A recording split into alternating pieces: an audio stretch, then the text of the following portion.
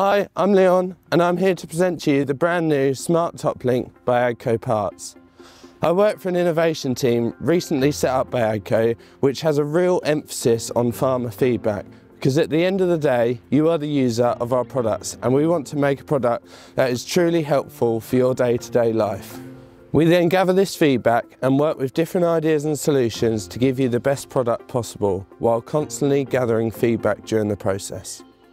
When you come to set up your spreader at the beginning of the season, most of the time the spreader is calibrated when it's empty. Some people might do it when it's half full to get that in between calibration. But when you add, say, two, three, four tons into the machine, that calibration then goes completely out the window.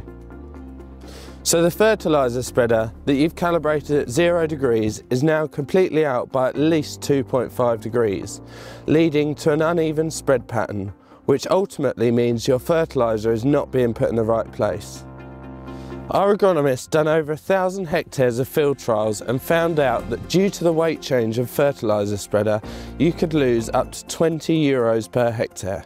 Our solution makes use of the tractor's hydraulic top link by automatically adjusting the angle of your spreader while on the move. The system achieves this by two sensors that are mounted on the front and the rear of the spreader. These sensors measure distance to ground and send the information to the hydraulic top link which alters your fertiliser spreader while on the move. By using the smart top link you can save up to 15 euros per hectare due to a much more even crop growth. But not only that, the operator has peace of mind knowing that his spreader is calibrated at all times during the spreading operation.